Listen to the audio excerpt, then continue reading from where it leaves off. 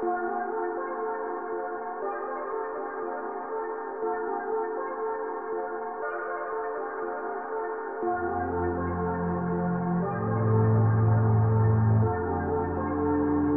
my fire.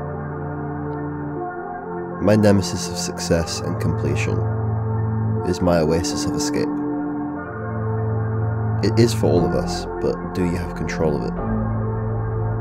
Those who are successful in my eyes are those who can control the environment of their escape. Safety and comfort are an evident capability of those with experience. We search for these things, but it must be expected that it takes time and patience to perfect them. Practice makes perfect. Each individual desires different things, so the journey must be different. I personally seek balance, among other things. Balance is what I have missed for so long, although I was in my mind convinced either I had balance or, on the flip side, did not need it. As if I was greater than balance, able in my mind to overcome its tenacious and ravenous devour. I need to balance my time, my energy, my emotions, myself. And all this is a constant juggling contest. I have not enough arms. And I guess this is why one must be able to look to others for help. But when I am in this cage, I cannot ask. I cannot reach beyond the bars, the jail I have made and so the balance I seek can only be achieved one way and one way alone. I tell myself I am not angry, The anger is for those who are weak and lack control, but I am deeply angry.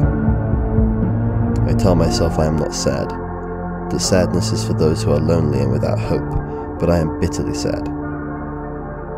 I tell myself I am not happy or cannot be, that happiness is for the foolish and stupid but I fiercely hunger to be happy.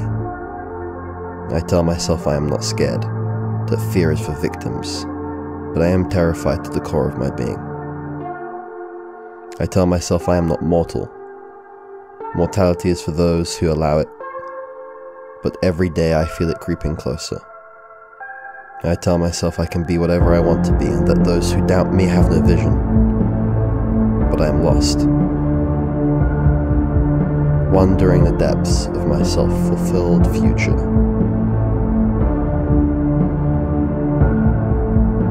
I am here now, and I will allow myself these things.